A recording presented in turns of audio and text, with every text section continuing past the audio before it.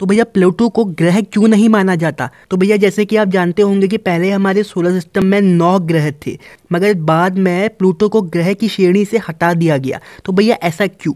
तो ऐसा इसलिए क्योंकि जो प्लेनेट होते हैं ना, जो ग्रह होते हैं, उनको होने के लिए तीन कंडीशन लगती है। पहली, कि वो रिवॉल्व करे सन के अराउंड यानी सन के अराउंड चक्कर लगाए। तो प्लूटो तो ये करता था। इसके बाद उसके पास अपनी खुद की ग्रेविटी होनी चाहिए ताकि वो अपने आप को एक स्पेरिकल शेप में रख सके।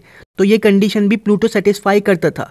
लेकिन इसके बाद जो तीसरी कंडीशन थी ना, कि इसके बाद अपना खुद का ऑर्बिट हो तो यहाँ पे ना प्लूटो फेल हो जाता है, क्योंकि प्लूटो जो है ना, वो नेपच्यून के ऑर्बिट को काटता है। मगर इस बात को सुनने के बाद मेरा एक दोस्त है ना, वो बोला कि भैया प्लूटो नेपच्यून के ऑर्बिट को नहीं काटता। हो सकता है कि नेपच्यून प्लूटो के ऑर्बिट को काटता हो।